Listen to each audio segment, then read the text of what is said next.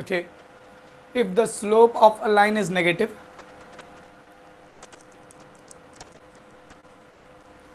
if the slope of a line is negative line means a straight line if the slope of a line is of a straight line is negative the line will definitely pass through the quadrants what fill in the blanks अगर किसी line का slope negative है तो वो line कौन कौन से quadrant से डेफिनेटली पास करेगी सोच समझ के जवाब दीजिएगा।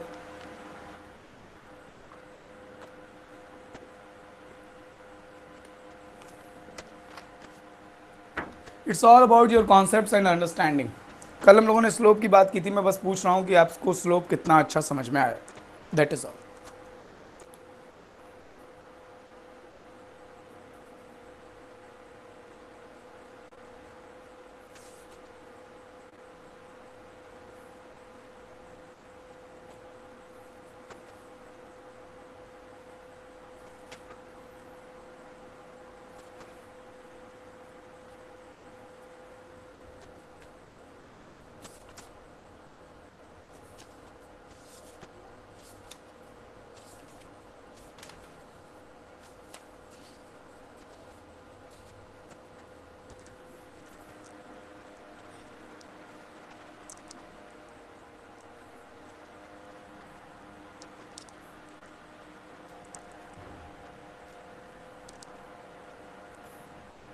भाई मृगान का निषाद। मृगान का निषाद कह रही हैं कि सेकंड एंड फोर्थ से डेफिनेटली पास होगा।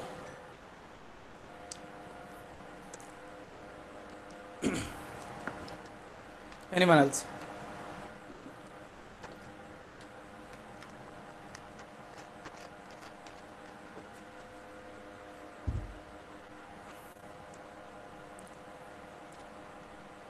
Priyanka Nishad is saying that the line will definitely pass through second and fourth quadrants.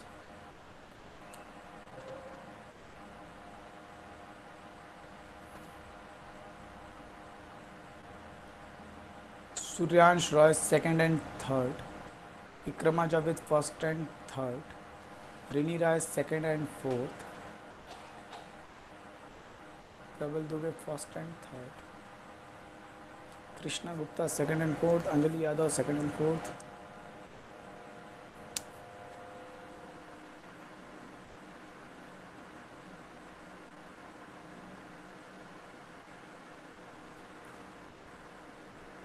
Mrigan का जरा अपना कैमरा ऑन कीजिए मृगान का निषाद अपना कैमरा ऑन कीजिए ब्रिगानका आपने कैसे बताया कि ये सेकेंड एंड फोर्थ क्वाड्रेंट में होगा? एक मिनट एक मिनट एक मिनट एक मिनट। अब बोलिए।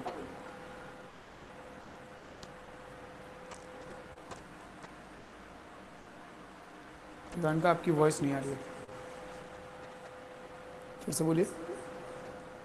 Sir second and fourth quarter negative होता है इसीलिए। Second and fourth quadrant negative ठीक है मृगान का अपना कैमरा बंद करो।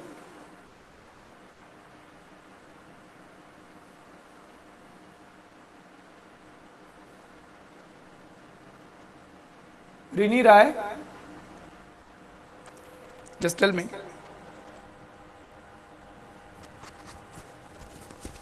बस मुझे बता दीजिए कि आपने सेकंड एंड फोर्थ क्यों आंसर दिया? Because the slope which pass through the which is negative then its negative part is as coordinate and second and fourth coordinate contain negative. So that's why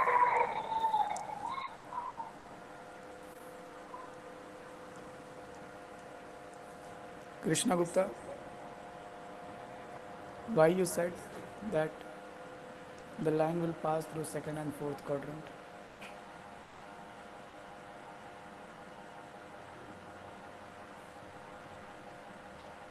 Krishna Krishna Gupta. Why you said that the line will pass through second and fourth quarter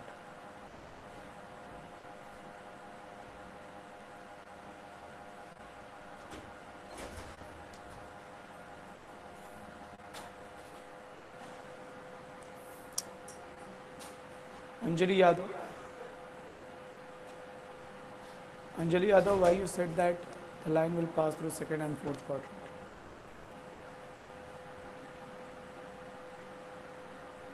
क्या आपका भी answer same है reason आपका भी same है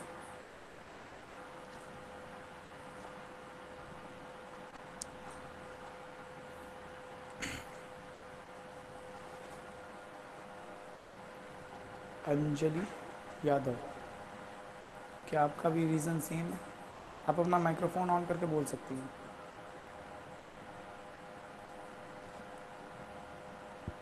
I think the second and uh, fourth quadrant negative होता है। ठीक है। चलिए यहाँ ध्यान दीजिए सभी लोग। अगर लाइन का स्लोप नेगेटिव है स्लोप मतलब m m मतलब टेन थीटा और टेन थीटा नेगेटिव है। तो टेन थीटा कहाँ कहाँ नेगेटिव होता है? टेन थीटा नेगेटिव होता है सेकेंड और फोर्थ क्वार्टर में।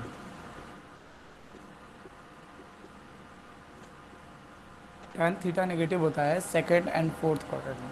मतलब या तो ये एंगल ऑप्ट्यूस है, या तो ये एंगल रिफ्लेक्सिव है।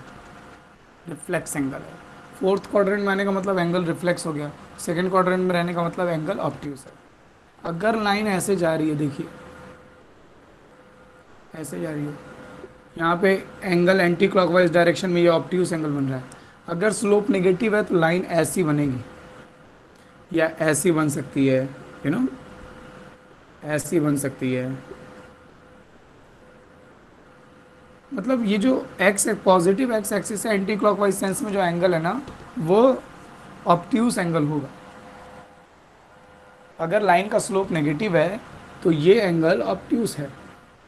तो लाइन ऐसे भी हो सकती है, ऐसे भी हो सकती है, ऐसे भी हो सकती है। तो अगर आप देखें तो सेकेंड क्वाड्रेंट में और फोर्थ क्वाड्रेंट में लाइन ज़रूर जा रही है। चाहिए लाइन हो चाहिए लाइन हो चाहिए लाइन हो। ऊपर वाली लाइन देखें, इसको तो ये फ़र्स्ट क्वाड्रेंट में भी है थर्ड क्वाड्रेंट में नहीं है। और ये नीचे वाली लाइन को देखें तो ये थर्ड क्वाड्रेंट में है, लेकिन ये लाइन फ़र्स्ट क्वाड्रेंट में नहीं है। लेकिन सारी लाइंस में एक कॉमन चीज़ क्या है कि वो सेकेंड में और फोर्थ में ज़रूर जाएँगी। अगर लाइन का स्लोप नेगेटिव है तो वो लाइन सेकेंड और फोर्थ क्वाड्रेंट में ज़रूर लाई करेगी। अनफॉर्चुनेटली रीज़न आपका सही नहीं था। मतलब ये इत्तेफाक से आपकी बात इस पर बैठ जा रही है। देखिए, अगर आप कह रहे हैं कि सेकेंड और फोर्थ क्वाड्रेंट में tan sorry second and fourth quadrant में नेगेटिव होता है टेन या इस तरीके से कुछ सोच रहे हैं तो टेन अगर सेकेंड और फोर्थ क्वाड्रेंट में नेगेटिव होता है तो उससे एंगल का पता चलेगा लाइन का नहीं पता चलेगा। टेन अगर सेकेंड और फोर्थ क्वाड्रेंट में नेगेटिव है तो इसका मतलब जो एंगल है वो या तो सेकेंड क्वाड्रेंट का है या फोर्थ क्वाड्रेंट का है। मतलब लाइन जो एंगल बना रही है, वो या तो ऑप्ट्यूस है या रिफ्लेक्स है। ये वाली बात हो गई। अब समझने वाली बात इतनी सी है कि अगर ऑप्ट्यूस एंगल या रिफ्लेक्स एंगल कुछ भी है तो लाइन की लोकेशन कुछ इस तरह से रहेगी। और हर हर सिचुएशन में लाइन सेकंड और फोर्थ क्वाड्रेंट में ज़रूर लाई करेगी। आई होप आपको बात समझ में आ रही हो। ये थोड़ा सा कॉन्सेप्चुअल क्वेश्चन था। ये थोड़ा सा कॉन्सेप्चुअल क्वेश्चन था। क्या सभी को बात समझ में आई? इक्रमा जावेद, आपको बात समझ में आई? आपने फ़र्स्ट और थर्ड कहा था। मैसेज करके बताना माइक्रोफोन मैंने बंद कर चलो। तो इसमें किसी को कोई डिस्कशन तो नहीं करना? मैं इसे इरेज करूँ? इसी तरह से अगर ये लिखा होता कि the slope of a line is positive अगर ऐसा लिखा होता है the slope of a line is positive तो वो लाइन फ़र्स्ट और थर्ड क्वाड्रेंट से डेफिनेटली पास होगी। अगर लाइन का स्लोप पॉजिटिव है तो वो फ़र्स्ट और थर्ड क्वाड्रेंट में तो जाएगी ही जाएगी। अगर लाइन का स्लोप नेगेटिव है तो वो सेकंड और फोर्थ क्वाड्रेंट में जाएगी ही जाएगी।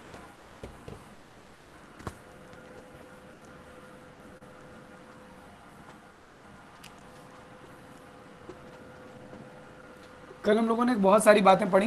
कल हम लोगों ने स्लोप के बारे में पढ़ा, कल हम लोग इंक्लिनेशन के बारे में पढ़े थे, कल हम लोग एक्सेस पर इंटरसेप्ट्स के बारे में पढ़े थे। स्ट्रेट लाइन का इंट्रोडक्शन करने के बाद हम लोगों ने कुछ बेसिक टर्मिनोलॉजीज पढ़ी थी। मान लीजिए हमारे पास कोई लाइन है ऐसे। ऐसे रैंडम ये एक्स ये वाई एक्सिस ये एक्स एक्सिस ये ओरिजिन और ये हमारे पास एक स्ट्रेट लाइन है। इस लाइन का स्लोप पॉजिटिव होगा या नेगेटिव होगा? इस लाइन का स्लोप पॉजिटिव होगा या नेगेटिव होगा? What will be the nature of the slope of this line?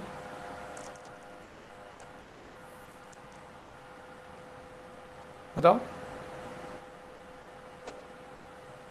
Very good है ना?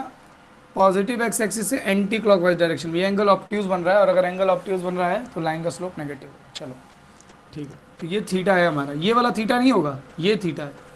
ये समझना होगा। पॉजिटिव एक्स एक्सिस से एंटी क्लॉकवाइज सेंस में जो एंगल बन रहा है, उसे हम इंक्लिनेशन कहते हैं। इस इंक्लिनेशन का टैन लेने पर लाइन का स्लोप आता है।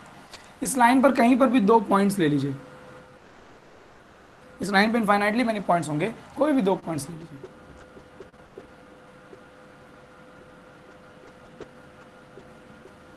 पहले वाले पॉइंट के कोऑर्डिनेट्स कुछ ना कुछ होंगे। हमने मान लिया let us assume that the point the coordinates of this point P is x1 y1 and the coordinate of this point Q is x2 y2 अब x1 का मतलब क्या है? ये डिस्टेंस x1 होगी और ये ये हाइट y1 होगी। X2 x2 का मतलब क्या है? ये डिस्टेंस x2 होगी और ये हाइट y2 होगी।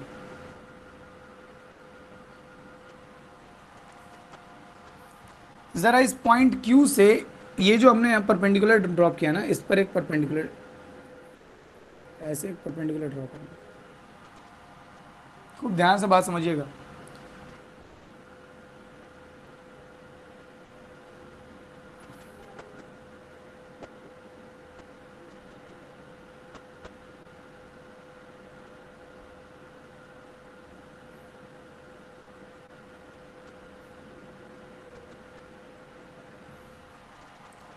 इस तरह का कुछ सिनेरियो है। ये हमने दो पॉइंट्स लिए पी एंड क्यू इसके कोऑर्डिनेट सेक्शन वन वन उसके कोऑर्डिनेट सेक्शन वन है ना?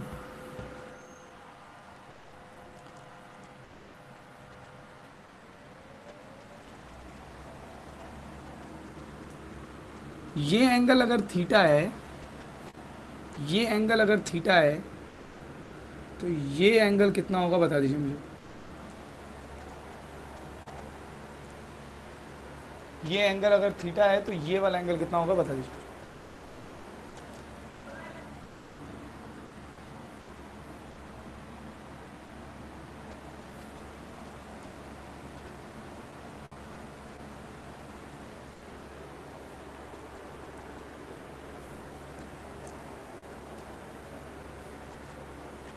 विक्रमा जावेद, मज़ाक कर रहे हो दिमाग में जंग लग गया है?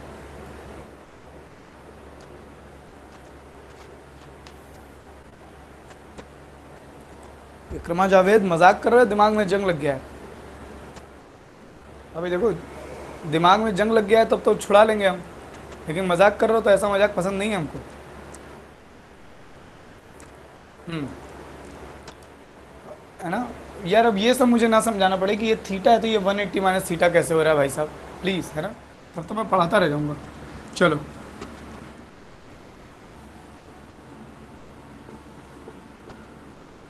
In triangle P L Q, इस ट्राइंगल में देखना है आपको।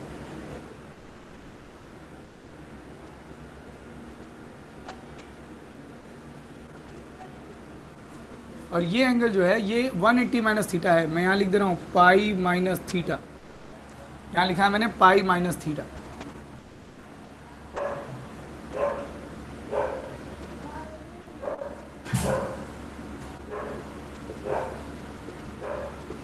tan pi minus theta होगा, ये ये एंगल इस एंगल का टेन लेने पर क्या आएगा? Perpendicular upon base tan pi minus theta minus tan theta होता है। Tan pi minus theta minus tan theta होता है। पी एल की वैल्यू पी एल की वैल्यू होगी P M minus Q N और एल क्यू एल की value Q L की वैल्यू होगी O N minus M N खूब आराम से पहले देख के बताइए ट्राइंगल पी एल क्यू में in triangle P L Q इस ट्राइंगल में मैंने इस एंगल ये जो एंगल है यहाँ पे एंगल क्यू इस एंगल क्यू यानी कि पाई माइनस थीटा का टेन लिया है। Tan of pi minus theta tan theta क्या होता है? Perpendicular upon base P L upon Q L और पी एल को मैंने ऐसे और क्यू एल को मैंने ऐसे लिखा है, इसमें किसी को कोई दिक्कत? ऋतिक राय मीटिंग लीव करके ज्वाइन कीजिए। ऋतिक राय विजिबिलिटी क्लियर है देखो यार है ना?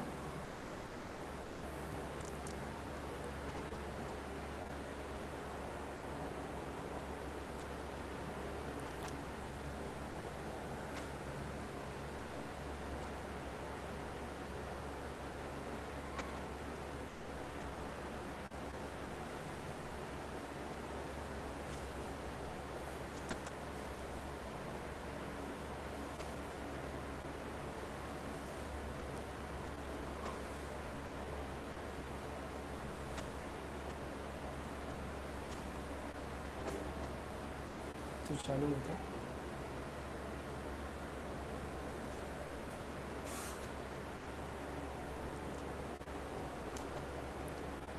हाँ भाई, यहाँ तक की बात में किसी को कोई प्रॉब्लम बोलो, बाकी लोग तो बताओ। जिनको विजिबल नहीं दिखा, जिनकी विजिबिलिटी जिनके लिए क्लियर नहीं, उनका तो चलो ठीक है। यहाँ तक में किसी को कोई प्रॉब्लम ओके क्यूएल की वैल्यू भाई क्यूएल ये है अमन कुशवाहा, क्यूएल ये है, यानी कि एम एन और एम एन की वैल्यू अच्छा O M minus O N minus O M होगा। अब ठीक है? अमन कुशवाहा, अब ठीक है?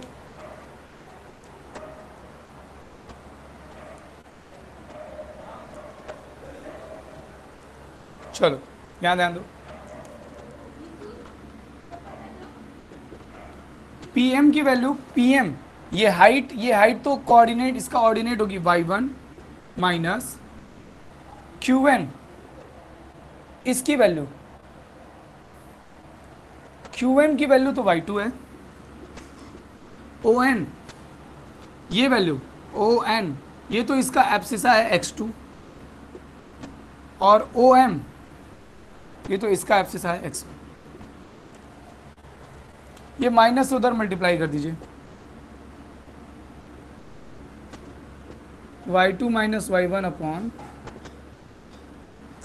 x two minus x one tan theta is equal to y two minus y one upon x two minus x one लेकिन टेन थीटा क्या होता है सर टेन थीटा तो स्लोप है।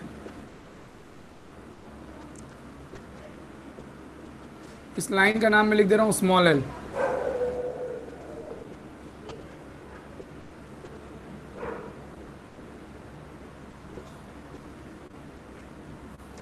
आप हेडिंग डालेंगे। Slope of a line in terms of coordinates of points coordinates of its points लिखो।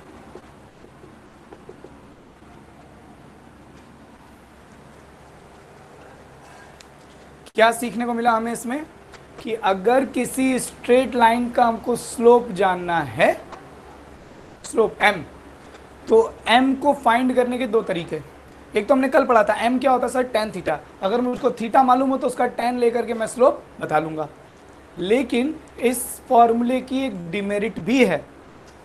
अगर आप m is equal to tan theta को देखें तो मैं हर थीटा का टेन नहीं जानता हूँ। मैं 45 डिग्री के लिए 10 की वैल्यू बता सकता हूँ सर 30 डिग्री के लिए बता सकता हूँ 60 के लिए बता सकता हूँ. चलो 15 डिग्री के लिए 105 डिग्री के लिए, साढ़े बाईस डिग्री के लिए बता सकता हूँ. बट इसका मतलब ये नहीं कि मैं थीटा कुछ भी हो लाइन कैसे भी आप बना दे तो मैं हर थीटा के लिए 10 की वैल्यू बता ही लूँ. नहीं. इसीलिए उस फॉर्मूले की एक लिमिटेशन है हमारे लिए. मैनुअली अगर हम देखें तो उस फॉर्मूले की एक लिमिटेशन है. हम थी टेन थीटा से हर लाइन का स्लोप खुद से तो नहीं निकाल सकते. अगर साइंटिफिक कैलकुलेटर ना यूज़ करना हो तो. खुद से तो नहीं निकाल सकते। लेकिन अगर मुझे उस लाइन पर कोई भी दो पॉइंट्स के कोऑर्डिनेट्स मालूम हो तो मैं उस लाइन का स्लोप बड़ी आसानी से निकाल सकता हूँ। स्लोप ऑफ़ लाइन का फॉर्मूला क्या है? Y two minus y one दोनों के ऑर्डिनेट्स का difference upon x two minus x one दोनों के एप्सिसास का डिफरेंस बस एक बात का ध्यान रखना है कि अगर आप न्यूमरेटर में y two minus y one लिखे हैं तो डिनोमिनेटर में भी x two minus x one लिखिएगा। और अगर आपने न्यूमरेटर में y one minus y two किया है तो डिनोमिनेटर में भी x one minus x two that is all यहाँ तक में किसी को कोई दिक्कत, कोई प्रॉब्लम कोई बात जो ना समझ में आ रही हो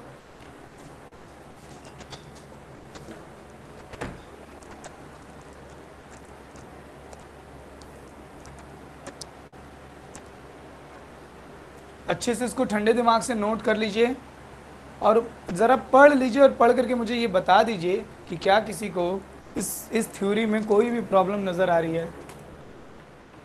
कुछ भी ऐसा हो जो आपकी ना समझ में आ रहा हो।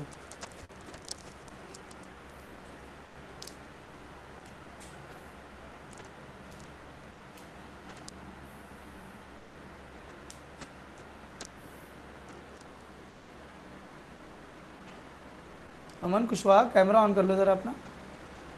अमन कुशवाहा। यस सर थो, थोड़ा सा अपनी उंगली हटा लो। बस बस बस। बस। अब आप बंद कर सकते मेरी बड़ी दिली ख्वाहिश थी कि मैं आपको देखूँ।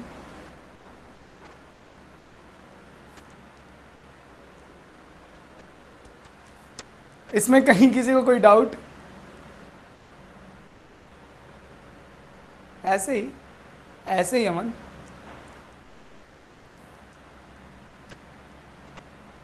अब अब नोटिस तो करना पड़ेगा ना अमन कि 25 बच्चों में खाली तुमने ही कमेंट किया ऑब्जेक्शन किया कि सर आपने क्यूएल की वैल्यू गलत लिखी है। है ना? बा, बाकी सब तो एकदम ये मान करके पढ़ रहे हैं कि जो बंदा पढ़ा रहा है सही पढ़ा रहा है। है ना? एक को दो लिखे, दो को चार, सब सही है। इसका रिकॉर्डेड वर्जन अपलोड होगा। रिकॉर्ड हो रहा है अपलोड कब होगा ये नहीं कह सकता अपलोड होगा ज़रूर। एक दो दिन में अपलोड हो जाएगा। एक्चुअली मैं आपको ऑनेस्टली एक बात बता रहा हूँ। हम लोगों के बीच में क्लास में बहुत सारी कन्वर्जेशन होती है, शुरू में एंड में। मुझे कोई ऐसा वीडियो एडिटिंग टूल नहीं मिल रहा है जिसमें से मैं बीच बीच में मेरी और आपकी जो कन्वर्जेशन है, उसको डिलीट कर सकूँ। सीधी सीधी सी बात ये, कुछ बातें टीचर और स्टूडेंट्स की ऐसी होती है जो क्लास के अंदर रहनी चाहिए, वो क्लास के बाहर नहीं जानी चाहिए। समझ रहे हैं मेरी बात को? आप मेरी बात पता नहीं समझ रहे हैं, सही ढंग से समझ रहे हैं कि नहीं समझ रहे हैं? ऐसा नहीं कि मुझे यू नो ऐसा नहीं कि मुझे किसी चीज़ से डर है या मैं है ना, ऐसा कुछ नहीं है। बस कुछ बातें ऐसी होती हैं जो जो टीचर स्टूडेंट्स के बीच में होनी चाहिए। है ना? मैं नहीं चाहता कि, लेकिन मुझे कोई ऐसा वीडियो एडिटिंग टूल नहीं मिल रहा है, जिससे मैं चीज़ों बीच बीच में क्लिप्स अगर कोई है भी तो वो मतलब ठीक है। नहीं समझ में आएगा तो मैं वैसे ही अपलोड कर दूँगा। बट एक होता है ना यार कि एक, हर हर पेयर की एक प्राइवेसी होती है। टीचर स्टूडेंट पेयर की भी एक प्राइवेसी होती है। प्रिंसिपल टीचर के पेयर की भी एक प्राइवेसी होती है। फ्रेंड्स के पेयर की भी एक प्राइवेसी होती है। बस वो प्राइवेसी मैं सोच रहा था कि किसी तरह अगर मेंटेन हो पाए। ठीक। है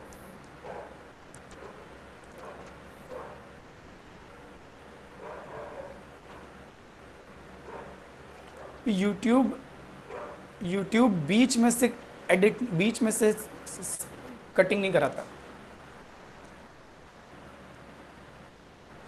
चलो ठीक है सब, ये सब बात की चीज़ है। आप, आपको ये सब हो गया, मैं ऐसे इरेज कर दे रहा हूँ। मैं ऐसे इरेज कर दे रहा हूँ।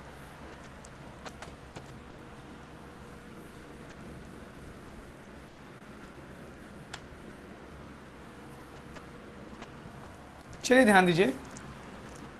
हम लोग सब स्लोप पढ़ रहे हैं अभी slope slope of a line पढ़ रहे हैं। स्लोप के बारे में हम क्या क्या जान सकते हैं, ये पढ़ रहे हैं। हम लोगों ने कल देखा कि हम किसी स्ट्रेट लाइन का स्लोप इंक्लिनेशन के टर्म्स में निकाल सकते हैं टेन थीटा हम लोगों ने आज पढ़ा कि हम स्लो किसी लाइन का स्लोप उस लाइन पर लाई करने वाले कोई भी दो पॉइंट के कोऑर्डिनेट्स के टर्म्स में भी निकाल सकते हैं। अगर हमें दोनों, कोई भी दो पॉइंट के कोऑर्डिनेट्स मालूम हो, तब भी मैं उस लाइन का स्लोप बता सकता हूँ। अगर मुझे उस लाइन का इंक्लिनेशन मालूम हो तब भी मैं उस लाइन का स्लोप बता सकता हूँ। तो अब मैं बात कर रहा हूँ आपसे।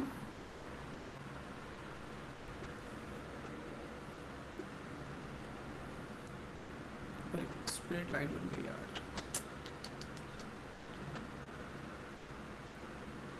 मतलब हम्म, ऐसे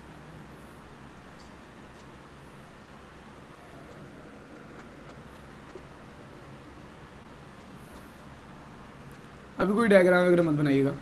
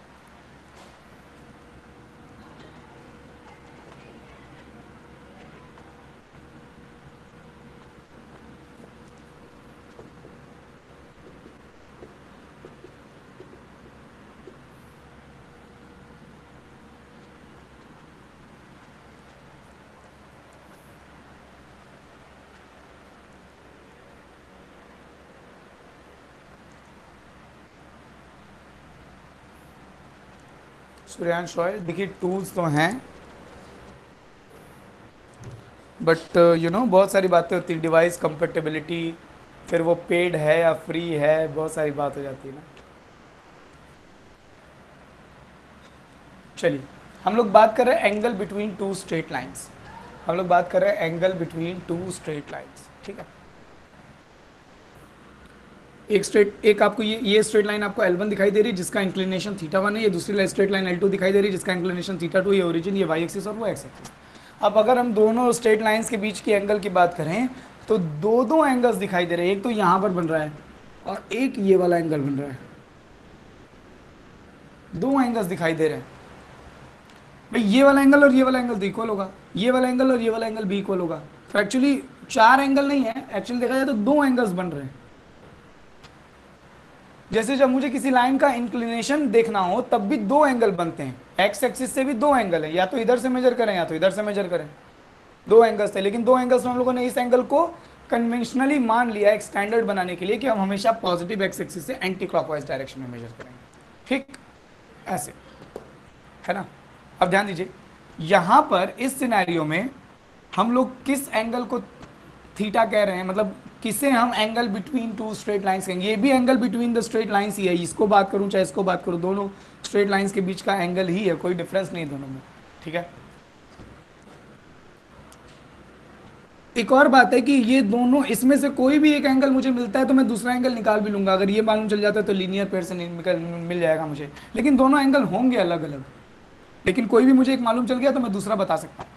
तो आप ज़रा देखिए, अगर मैं इस एंगल को थीटा कहूँ एक सेकेंड के लिए ध्यान दीजिएगा।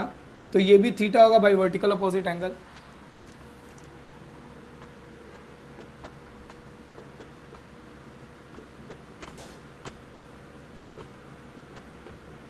in this given scenario,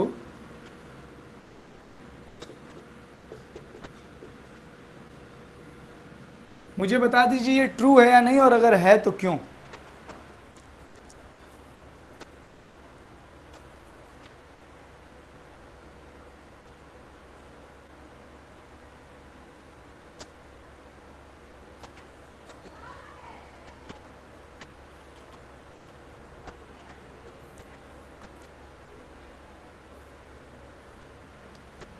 मुझे बता दीजिए, ये ये चीज़ ट्रू है या नहीं और अगर है तो क्यों?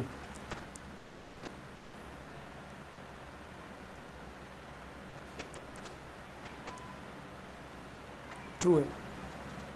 एक्सटीरियर एंगल ऑफ़ ट्रायंगल बिल्कुल। ये एंगल मुझे एक्सटीरियर एंगल दिखाई दे रहा है। And exterior angle is equal to sum of interior opposite angles so theta one is equal to theta plus theta two मुझको क्या चाहिए? मुझे चाहिए लाइंस के बीच का एंगल मतलब ये थीटा तो मैंने लिखा कि sir theta will be equal to theta one minus theta two दोनों साइड टेन ले लीजिए.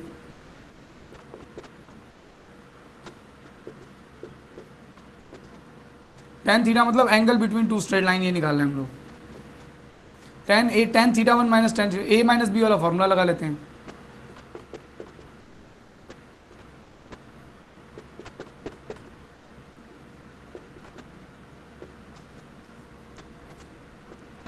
टेन थीटा वन तो सर एम वन हो जाएगा, पहली लाइन का स्लोप। टेन थीटा टू तो एम टू हो जाएगा, slope of second line. One plus M one, M two is equal to.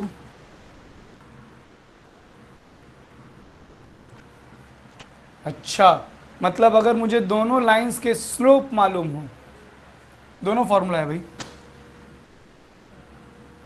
अगर मुझे दो स्ट्रेट लाइंस के स्लोप्स मालूम हो, एम वन, एम टू मालूम हो, या मुझे दोनों स्ट्रेट लाइन के लिए थीटा वन थीटा टू मालूम हो मतलब एंगल इंक्लिनेशन लाइंस का।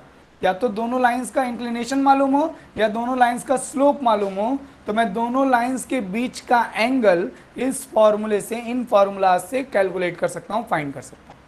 कैसे? मान लीजिए मुझे एम वन एम टू मालूम है।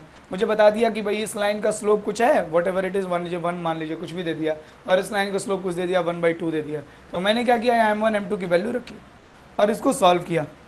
मान और ये सॉल्व होने के बाद जो भी आया, हम ये देखेंगे कि वो टेन किसकी वैल्यू है? मान लीजिए ये सॉल्व होकर के वन बाई रूट थ्री आ गया। मान लो कि ये सॉल्व होकर के one upon under root three आ गया। तो हम कह देंगे कि सर, वो one upon under root three कितने डिग्री की वैल्यू थी थर्टी डिग्री की। इसका मतलब ये बीच वाला एंगल कितने डिग्री का होगा? दोनों लाइन्स कितनी डिग्री पर इंक्लाइंड है? थर्टी डिग्री पर। मान लीजिए सॉल्व होकर के one you know under root three आ गया तो हम बता देंगे सर, दोनों दोनों लाइन्स के बीच का एंगल सिक्सटी डिग्री है। एंड सो ऑन ठीक है? So these are the formulas to find the angle between two straight lines when the inclination of the lines is given or the slopes of the lines are given बात समझ में आ गई ये बात समझ में आ गई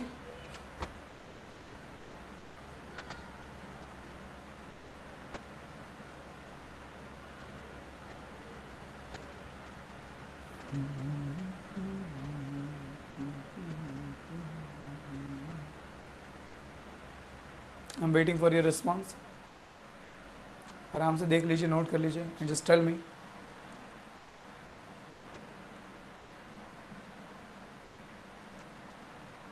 did you all get it or not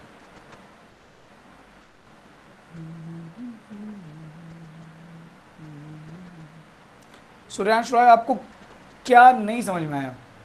मतलब ये लॉजिक नहीं समझ में आया या ये फॉर्मूला यहाँ से हम थीटा कैसे निकालेंगे, ये नहीं समझ में आया? अच्छा छोड़ो, मैं फिर से एक बार बता दे रहा हूँ। आप नोट कर लो, एक मिनट एनालाइज कर लो, एक बार मैं फिर से बता दे रहा हूँ। सुरेश राय, आप भी एक बार फॉर्मूले को अच्छे से देखिए। मैं एक बार फिर से बता दूँगा। सुना बिग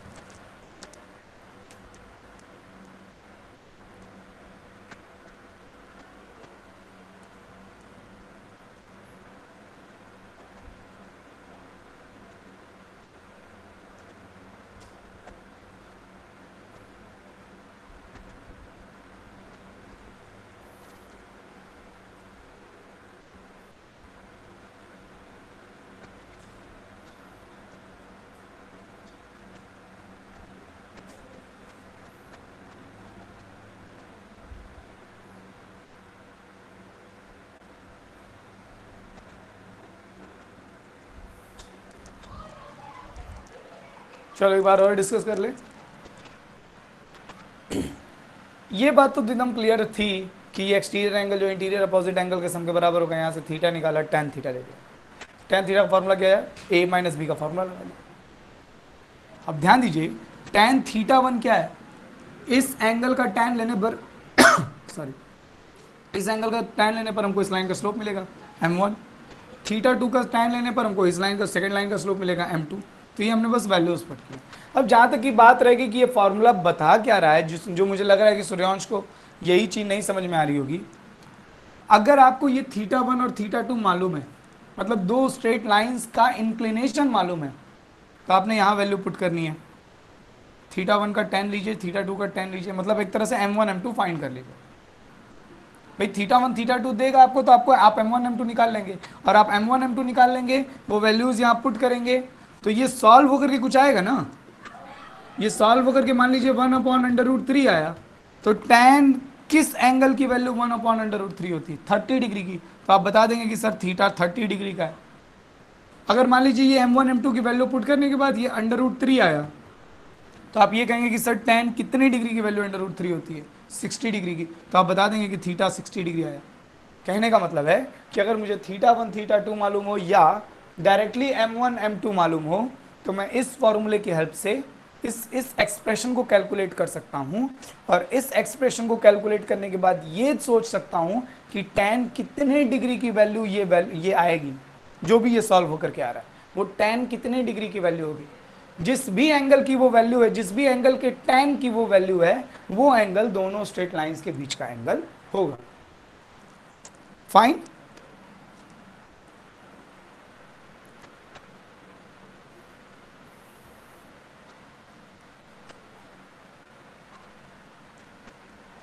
अब इस फॉर्मूले के साथ एक और पंगा है। इस फॉर्मूले के साथ एक और पंगा है। अगर आपने M1 M2 कैलकुलेट किया, ये सारी वैल्यूज़ यहाँ पुट की, देखो मैंने ऐसा सिचुएशन मैंने ऐसा डायग्राम बनाया है जिसमें थीटा जो है वो एक्यूट एंगल बन रहा है। समझिए बात को।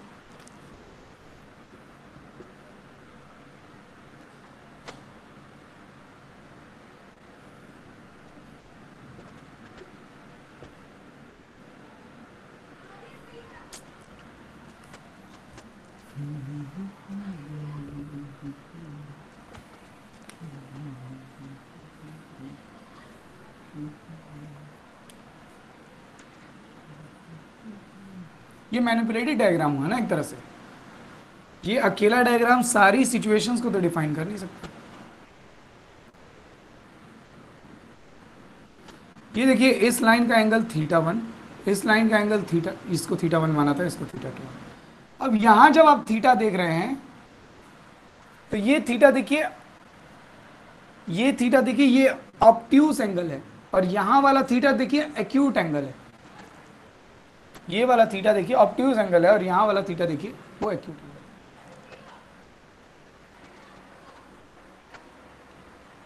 हाँ। हाँ Sumit Singh tan A minus B वाला फॉर्मूला ही लगा था tan A minus tan B upon one plus tan A tan तो मैं, मेरे कहने का मतलब ये कि जब आप m1 m2 की यहाँ वैल्यू पुट करेंगे तो ये पॉजिटिव भी आ सकता है और नेगेटिव भी आ सकता है। ध्यान से सुनिए मेरी बात। जब आप m1 m2 की यहाँ वैल्यू पुट करेंगे तो ये पॉजिटिव भी आ सकता है और नेगेटिव भी आ सकता है। अगर ये सॉल्व होकर के पॉजिटिव आ रहा है तो पॉजिटिव कब आएगा? जब थीटा एक्यूट हो, तब तो वो एक्यूट एंगल दे रहा होगा। और अगर ये सॉल्व होकर के नेगेटिव आ रहा है बाई चांस ये सॉल्व होकर के नेगेटिव आ रहा है तो नेगेटिव आने का मतलब आंसर गलत नहीं है। नेगेटिव आने का मतलब इस एंगल को ना दे करके वो इसका लीनियर पेयर क्योंकि समझिए बात को अगर ये एक्यूट है तो इसका लीनियर पेयर ऑप्ट्यूस होगा है ना? अगर ये सॉल्व होकर के नेगेटिव आ रहा है अगर ये सॉल्व होकर के महाशय नेगेटिव आ रहे हैं तो वो एक्चुअली वो एक्यूट एंगल को ना दे करके बल्कि उसके लीनियर पेयर यानी कि ऑप्ट्यूस एंगल को दे रहा है। समझ आ रही बात ना? तो अब होता क्या है कि यू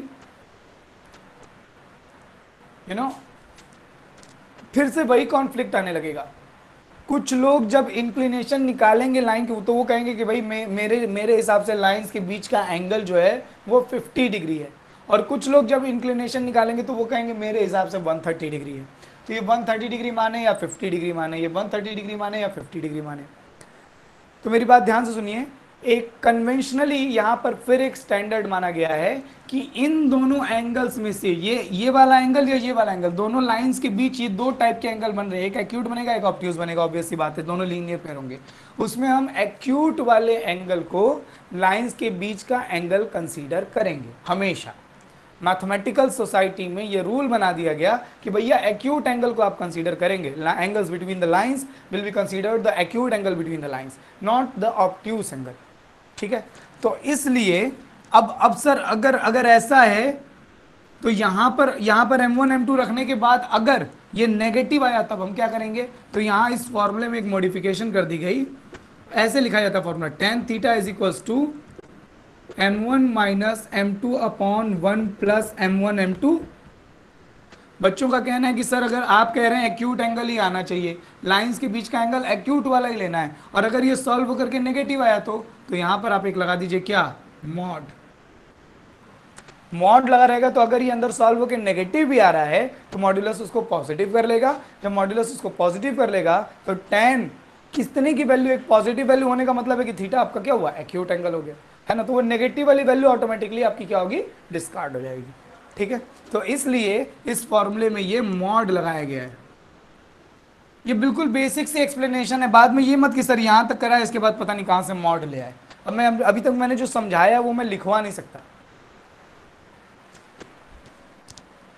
थीटा 90 डिग्री हो सकता है। बिल्कुल हो सकता है। क्यों नहीं हो सकता है? दो लाइंस परपेंडिकुलरली इंटरसेक्ट कर सकती हैं।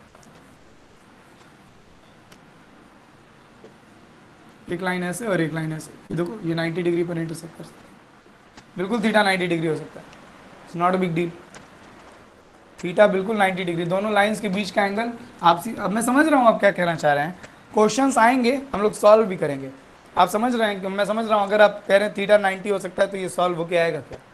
ये सॉल्व होकर के इसका डिनोमिनेटर ज़ीरो आएगा। अगर इसका डिनोमिनेटर ज़ीरो आ गया तो इसका मतलब थीटा डिफाइंड नहीं है। सॉरी टेन थीटा डिफाइंड नहीं है। अगर टेन थीटा डिफाइंड नहीं है तो इसका मतलब थीटा 90 डिग्री होगा। Suryansh clear Suryansh Roy clear hmm. तो आप सभी को यह बात समझ में आनी चाहिए कि यहाँ मॉड्यूलस क्यों लगाया गया है?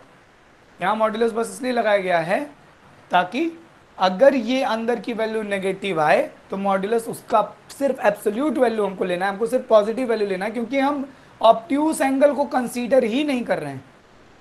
हम ऑप्ट्यूस एंगल को angle between the lines obtuse angle नहीं होता है। Angle between the lines acute angle वाले को ही हम चाहते हैं। इसीलिए हम सिर्फ़ पॉजिटिव वैल्यू ही एक्सेप्ट कर रहे हैं। ओके क्या मैं मान लूँ कि ये बात सबके समझ में आ गई? क्या मैं ये मान लूँ कि ये सबको समझ में आ गया? अगर किसी को कोई इफ़ एंड बट है, कोई प्रॉब्लम है तो बोल दो भाई, अभी टोक लो। जल्दी जल्दी बताओ। तुम लोग के मैसेजेस बहुत लेट आ रहे हैं आज।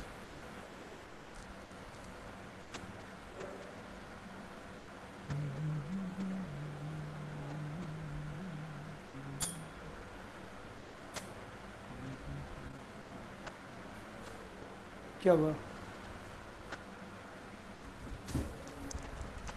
सूर्यांश शायद तो बोल दिया अंडरस्टूड सर बाकी?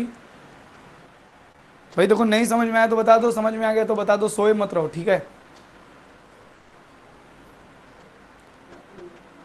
अगर आपको नहीं समझ में आ रहा है तो बता दीजिए, अगर आपको समझ में आ रहा है तो वैसा बता दीजिए, लेकिन सोए मत रहिए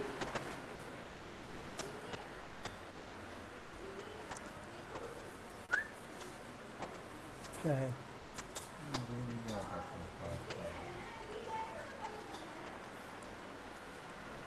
चलो ठीक है कोई कह रहा है कि इसमें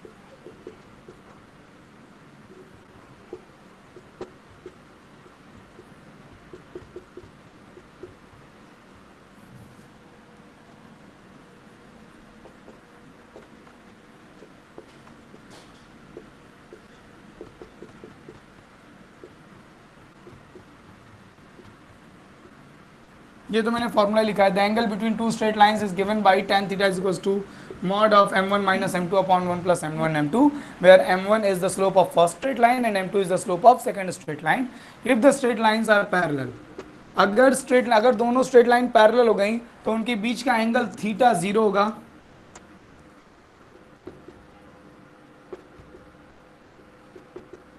और अगर टेन थीटा ज़ीरो हो गया, अगर दो लाइंस पैरेलल हो गई तो उनके बीच का एंगल ज़ीरो होगा। अगर एंगल ज़ीरो हुआ तो टेन थीटा ज़ीरो होगा। टेन थीटा ज़ीरो हुआ,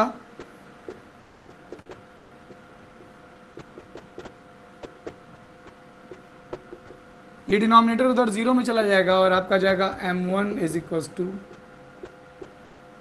M two मतलब अगर दो लाइंस पैरेलल हैं तो उनके स्लोप्स इक्वल होते हैं। अगर दो लाइंस पैरेलल हैं तो उनके स्लोप्स इक्वल होते हैं। ऑब्वियस सी बात है। एक ज्योमेट्रिकल इंटरप्रिटेशन भी देख लीजिए इसका। एक लाइन ऐसे बना लीजिए। एक लाइन ऐसे बना लीजिए, दोनों पैरेलल अगर दोनों लाइंस पैरेलल है तो दोनों का inclination anti clock positive X axis से एंटी क्लॉक सेंस में, ये दोनों एंगल बराबर होगा। अगर दोनों लाइंस पैरेलल हैं तो ये दोनों एंगल बराबर होंगे। क्यों? क्योंकि करस्पॉन्डिंग एंगल है। अगर एंगल बराबर होंगे तो इनका टेन भी बराबर आएगा टेन थीटा टेन थीटा अगर टेन थीटा टेन थीटा बराबर है तो दोनों का स्लोप्स भी बराबर होगा मतलब एम वन बराबर एम टू यस और no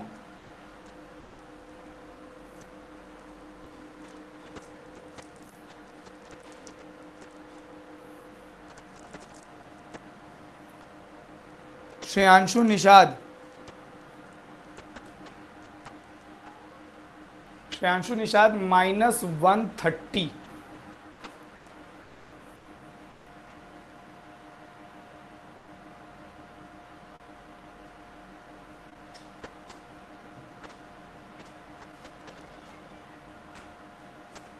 तुम्हारा लॉजिक सही है, मगर तुम कॉन्सेप्ट नहीं समझ रहे आपका लॉजिक सही है, मगर आप कॉन्सेप्ट नहीं समझ रहे।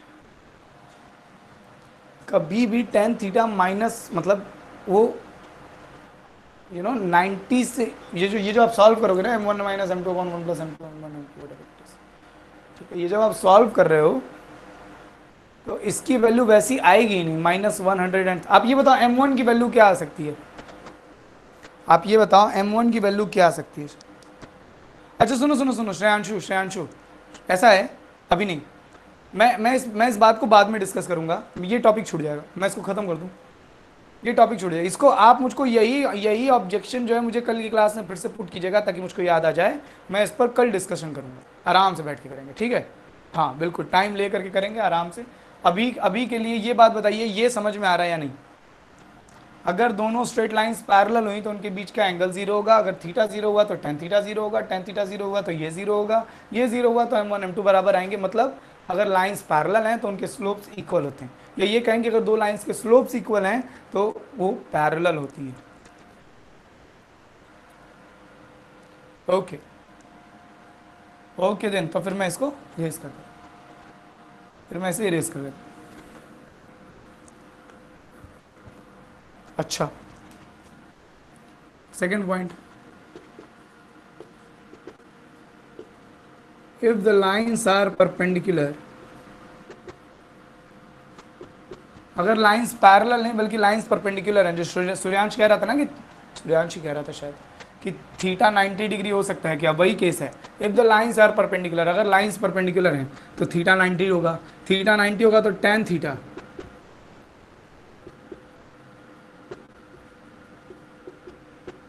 नॉट डिफाइंड अगर थीटा 90 हुआ तो टेन थीटा क्या होगा? नॉट डिफाइंड नॉट डिफाइंड का मतलब समझिए। नॉट डिफाइंड का मतलब समझिए। Any real number any real number upon zero आएगा। नॉट डिफाइंड का मतलब समझिए। Any real number upon zero आएगा। मतलब डिनोमिनेटर ज़ीरो हो जाएगा। नॉट डिफाइंड का मतलब। इन्फिनिटी नहीं लिखते हैं इसको। वन अपॉन ज़ीरो ही कहना ज़रूरी नहीं, कुछ भी आ सकता है। न्यूमरेटर से एक्चुअली हमको कोई दिक्कत ही नहीं है। आप समझिए, ये देखिए, ये राइट ट्रायंगल बना लीजिए। ये राइट ट्रायंगल बना लीजिए। क्लास टेंथ की ट्रिग्नोमेट्री याद कीजिए। ये थीटा है। और थीटा होता है टेन थीटा होता है perpendicular upon base tan theta होता है परपेंडिकुलर अपॉन बेस अब इस थीटा को आप 90 लेकर के चलिए। अब इस थीटा को, इस थीटा को 90 बनाने की कोशिश कीजिए। तो 90 एग्जैक्टली तो बन नहीं सकता, क्योंकि एक ट्रायंगल में दो दो एंगल 90 डिग्री के नहीं हो सकते। तो आप इस एंगल को ना अब धीरे धीरे धीरे धीरे बढ़ाइए 90 की तरफ़ एग्जैक्ट 90 मत करिए। 89.9999999 ऐसे बढ़ते रहिए 90 के क्लोज जाते रहिए 90 पे मत जाइए। क्योंकि एक ट्रायंगल में दो एंगल 90 डिग्री के नहीं हो सकते, है ना? लेकिन आप इस एंगल को बढ़ाते रहिए बढ़ाते रहिए बढ़ाते रहिए और 89.9999 ऐसे 90 के क्लोज जाते रहिए। जैसे जैसे ये एंगल बढ़ेगा बेस तो इतना ही रहेगा। बेस तो इतना ही रहेगा। लेकिन भाई ये परपेंडिकुलर इतना बड़ा होता चला जाएगा ना, क्योंकि आपने एंगल बढ़ा रहे हैं। ये एंगल बढ़ा रहे हैं। परपेंडिकुलर मतलब ये लाइन जहाँ पर, ये हाइपोटेनस जहाँ इस लाइन को कट करेगा, वो हाइट हो जाएगी। तो आप जैसे जैसे एंगल बढ़ा रहे हैं परपेंडिकुलर देखिए बढ़ता चला जाएगा। तो एक्चुअली 90 डिग्री के केस में क्या होता है कि परपेंडिकुलर इनफाइनाइट लेंथ का हो जाता है और उसके कंपैरेटिवली बेस आप खुद सोचिए परपेंडिकुलर खूब लंबा चौड़ा नंबर है। खूब लंबा चौड़ा।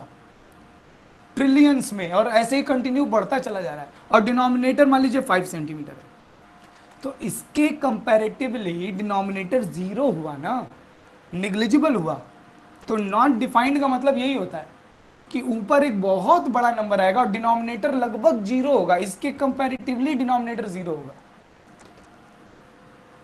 तो इसका मतलब ये ये जो डिनोमिनेटर है one plus M one M two ये यू you नो know, ये ज़ीरो की ओर अप्रोच करने लगेगा। जो ये कह लें कि ये ज़ीरो होगा। तो एम वन एम टू की वैल्यू क्या आएगी? माइनस इसका मतलब अगर दोनों स्ट्रेट लाइंस परपेंडिकुलर हैं तो उनके स्लोप्स का प्रोडक्ट माइनस वन होता है। ये सारी बातें क्लास ट्वेल्थ में आप लोगों को काम आएगी। अभी मैं टेंजेंट नॉर्मल पढ़ा रहा था। मुझे लग रहा है कि दस लग रहा है कि चार पाँच दिन पहले की बात है। लाइव क्लास एकदम शुरू शुरू में एकदम स्टार्ट हुई थी और टेंथ वालों का ट्वेल्थ वालों का डाउट चल रहा था टेंजेंट नॉर्मल पे। तो ये सब बातें, बहुत सारे स्टूडेंट के हाँ लाइंस परपेंडिकुलर है तो उनके स्लोप्स का, ये सब भूल गए थे, दिमाग से उतर गया था। और ये आप में से भी बहुत सारे स्टूडेंट्स के साथ होगा। ठीक है? क्योंकि हर साल टीचर बोलते ज़रूर हैं, है ना, कि हाँ ये सब बहुत इंपॉर्टेंट है, बहुत इंपॉर्टेंट है, बहुत इंपॉर्टेंट है। मगर इतना इंपॉर्टेंट होकर के कौन, सुन ही कौन रहा है? केयर कोई नहीं करता। जो केयर करते हैं, उन्हें ध्यान रह जाता है कि हाँ भाई। तो अगर दो लाइंस परपेंडिकुलर हैं तो उनके स्लोप्स का प्रोडक्ट माइनस वन होता है। चलो, आज की क्लास में इतना ही। इसको नोट ज़रूर कर लीजिएगा और अगर कोई इफ़ बट है तो हम लोग कल डिस्कशन करेंगे। आज की क्लास में इतना ही। This is Shubham Puddar signing off from today's class bye bye